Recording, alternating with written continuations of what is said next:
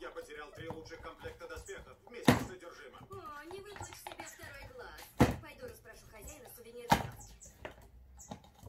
Скажи, Даррелл, что будет, если бросить предмет со столом? Думаю, он будет падать вечно.